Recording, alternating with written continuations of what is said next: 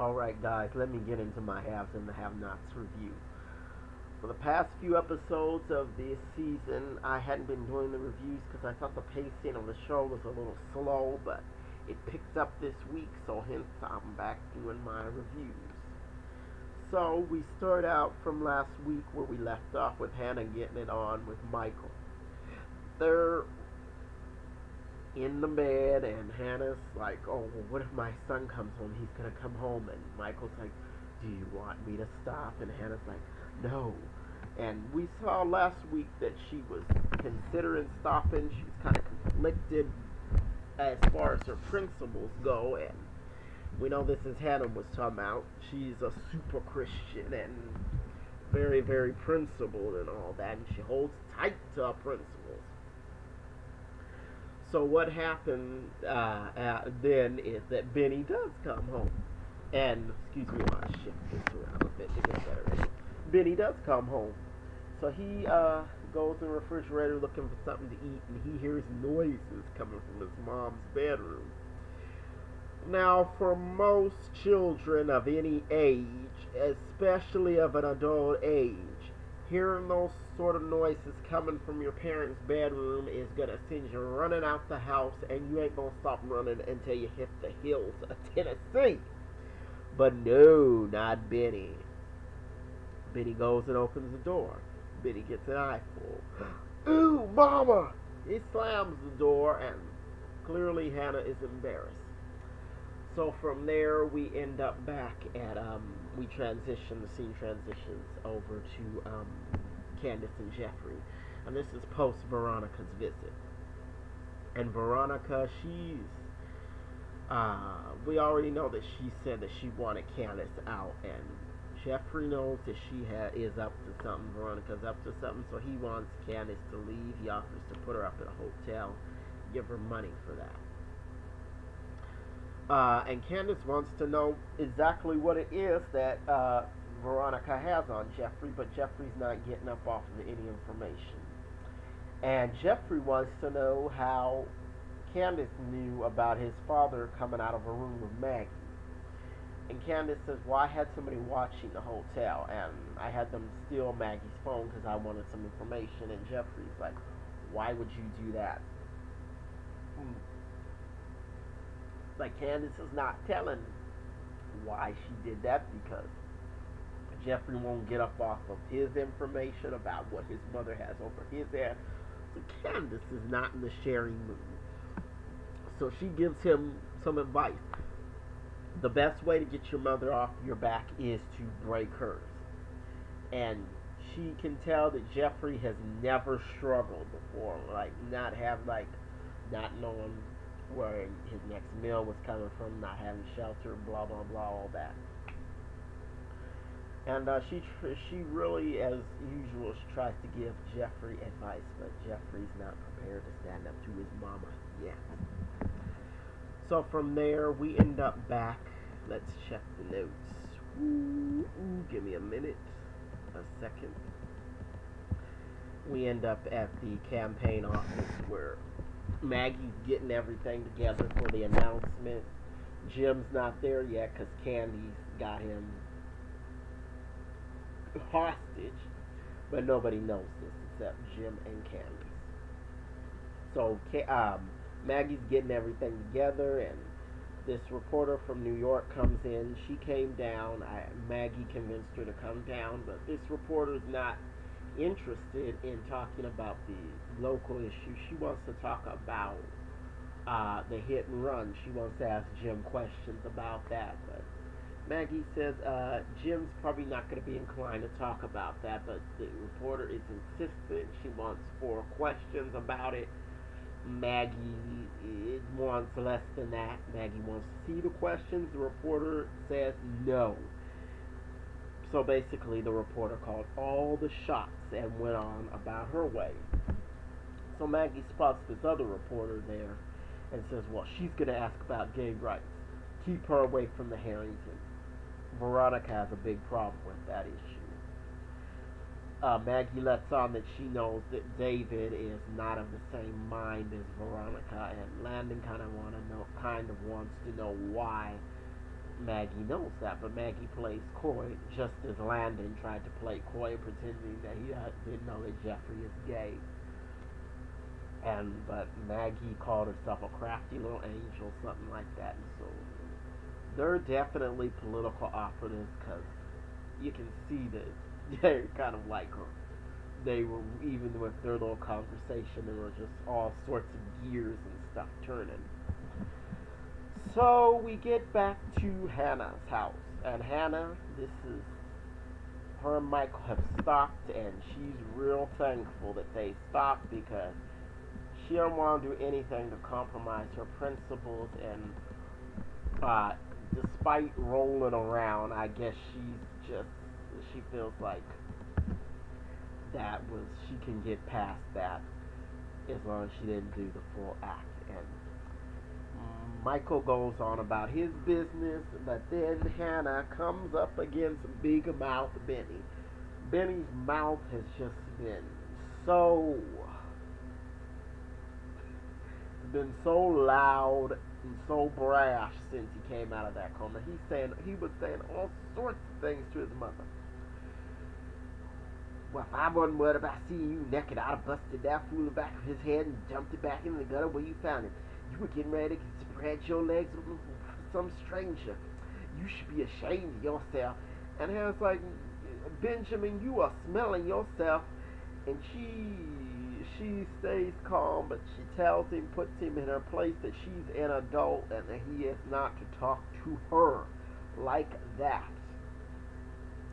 So he leaves to go cool off, and you know Hannah is in agreement with him leaving to go cool off because he would have said some more stuff that he would regret, and Hannah probably would say something that she would regret, and you know neither one of them wanted that. So after that, let me check to see where we went after that. So uh, we go to the? So we go to this. Uh, David and Maggie have this little scene, and you know they still seem to have a little bit of a something uh, chemistry or something going on, and I said you might as well have gone through with it. Veronica went crazy anyway, and Maggie got slapped in the face, and not even for doing the full act, just for rolling around a bit. So, and uh, Veronica didn't even believe that they didn't do it. So, but whatever. That was a short little scene between David and Maggie. So, next we'll transfer to the Cryer Mansion where uh, Catherine um, uh, is trying to wake Wyatt up, and Celine is uh, Celine tells Catherine that Wyatt drank all this scotch, and Catherine tries to get him up, but he's laid out in the bed, being a petulant child, like she's trying to get him up for school because he's gonna miss the school bus but he doesn't want to get up and go to this announcement. So, and I don't necessarily blame him, but he was quite disrespectful to his mama. Uh, so she tries to gets ready to go wake up Amanda, and but we um, we'll get to that, but uh, uh, uh, but she and then she uh, and Hannah's back at work, and so she runs into Hannah, Catherine, and they have a little conversation. But before that, Celine and Hannah mixed it up a little bit. Celine's being her usual self, being confrontational, but Hannah was not having it. So let's get into Catherine and Hannah's scene. So Catherine fills Hannah in on Quincy stopping by the Cryer Mansion and giving Jim a beat down. And Catherine was just so excited about this. She was like, whoa, he did what I wanted to do to Jim for so many years. I should pay him to come by every Friday and beat Jim up. And um, at first, Hannah didn't know exactly who she was talking about, but then when uh, I believe Catherine said something about it being a friend of Candace's, uh, Hannah realized that it was a it was Quincy, and Hannah said, "Well, that boy's a messenger of death. He's dangerous." And Catherine's like, "He didn't do nothing to me." He liked me. And then she goes, well, not like that, but I, Quincy is so thirsty, he probably would get with Catherine if possible. So I've been in prison so long, so I wouldn't be surprised if he did look at Catherine like that. But who knows? So uh, Hannah's a little bit disturbed by Catherine's sense of humor, and Catherine really doesn't want Hannah raining on her parade and all of that. Uh, Cat, that's the other thing Catherine, Catherine said that Jim getting beat up got her turned on. Bizarro. But, you know, so Cat, Hannah goes to get to work, and Catherine um, has to finish getting dressed, but she instructed Cat, uh, Hannah to get Amanda up in a half hour or so, so she can get to the announcement, get dressed, and get to the announcement. And we'll get into Amanda later on in this review. So, uh, Catherine, uh, in so, okay, Cat, okay, we'll get to Catherine's other scene. Because after this, Jeffrey has to deal with Melissa again. Because Melissa shows up at his door and she's like, Hi. And Jeffrey's like, What are you doing here? He's not trying to see her right now. And she says, Your mother told me to come over so we could go over together. Oh, Veronica, still being extra pushy. So, uh, Melissa's being real persistent. She's she's talking about she really likes Jeffrey and she's really pouring it on heavy. Quite a bit much. It seems quite rehearsed and Jeffrey gets a big red flag when Melissa says, well, you just have to do it over and over and over again until it becomes more natural. And Jeffrey kind of goes off and it's like, how much have you been talking to my mother? And he's getting a little slight backbone, but he needs to get that backbone with Veronica. But of course, Melissa doesn't fess up to anything. But I suspected from last season that uh, Veronica put Melissa up to getting Jeffrey into bed so, uh, and you remember they didn't use protection, so there probably is a potential for a pregnancy to occur. So, and Veronica would love that because she could really, really uh, trap Jeffrey into something in a situation like that. Uh, from there, we go back to the Cryer Mansion and make sure that's where the scene transitions to. yeah, and so Wyatt is up out of bed, looking a mess, looking like he smells terrible. Uh, so he's just being real disrespectful to his mother, telling her, "Go to hell." And that's exactly how he said it. I said, "You and Benny are out of line in this episode." And granted, Wyatt has a whole lot of guilt about what he did with the hit and run, and he doesn't. I don't think he, he really sees his parents have having done him a favor by covering it up, because he mentions that. He said, "What did you help me get away with? What did you do for me help me get away with murder?" Excuse me. So clearly, he he's still feeling guilt about that and then he lays all this stuff out about Jim and blah blah blah, and because uh, Catherine tries to call Jim to straighten him out, and when she calls him, his it, it rings and she hears it, and Wyatt has his phone, and she says, "What are you doing with his phone?" And oh, Wyatt says, "Oh, I found it outside. He probably dropped it when he went out to screw Candace." and then he, he just dumps all this stuff out that Catherine already knows about Celine, about Celine having a son, and all of that stuff. And um, and, and and the funny thing about the scene to me is he called Wyatt called Celine once by her name, and then he said, "Well, maybe I should call her by the name she knows, Whore." And then Celine sort of appears right away, and I said, "Perfect timing, Celine. Perfect timing."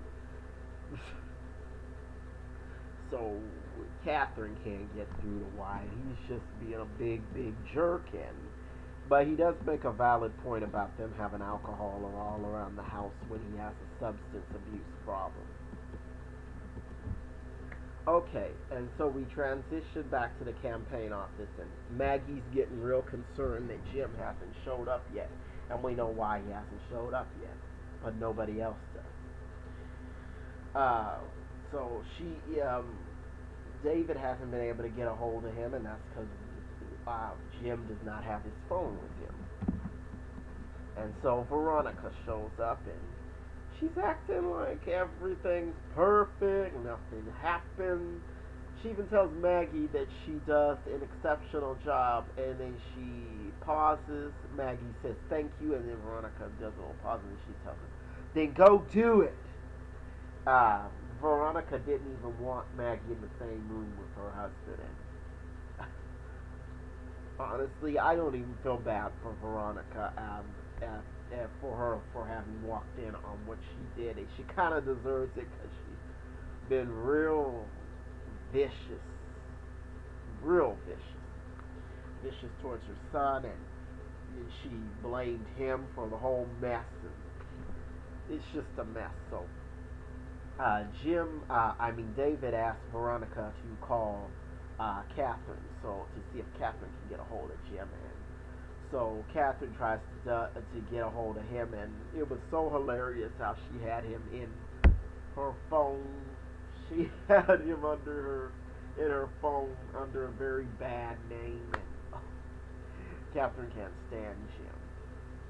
But um, of course, she forgot that Wyatt still has his phone, so she doesn't know where he's at, and nobody knows where he's at because Candy's got him hostage. So wrapping this up real quick, Candace has Jim hostage and she's ready for him to sign the papers. And she takes out the papers and everything, and he says, "Well, he's he's ready to sign as well." And he said, "Well, I need my hand free." So she I she should have known he was up to something, but so but she lets him have his hand free, and he proceeds to choke her but Candace is quick enough to turn on that electrical machine that she shocked him with last week, and he gets an electric shock, so he has to let go, and he has to sign the papers. And Candace set up a wire transfer request at her bank, uh, and she makes Jim call his banker to approve the request, and so she's going to get her $7.4 million. I think it was $7.4 million, somewhere in that range she's ready to get it, and she's gonna let Jim take a shower and have clean clothes and everything. And Warlock is like, why? And she says, because we want, I want to wash, get him washed off so we can kill him. And, and she's like, I know we can't really kill him. And, and she's saying, well, I've got him broken and all that. And so from there, uh, let's let me uh, make sure I'm getting I'm not missing anything. I don't want to miss anything. Okay, and so this, after that scene with Jim and Candace, the end arrives. So Hannah, as per Catherine's instructions, goes to wake up Amanda. She knocks on the door, no answer, so she Hannah says, Well, your mother said I gotta get you up physically. So Hannah goes in to open up her blinds and then to let in some light. And as soon as she does that, she opens. She slips on something, and it's like, uh oh. And then she looks around, blood everywhere. She's just like, ooh, just like really like grossed out, and, and, and just blood everywhere. And she looks over, sees Amanda in the bed, shot, all this blood, and and, and, that's the cliffhanger for this week. Just a great, great cliffhanger. I loved it. Um, so next week we're going to be dealing with the aftermath of Amanda's shooting. Ah, uh, she's got to be dead after that. I mean, it's like all that blood in there. I mean, it'd be stupid to have her come back as alive, but you never know with a soap. So But that is my review. Thank you all for watching. I'm going to be next back next week because it looks like the show is going to be fast paced again. So thank you very much for watching my review and deuces.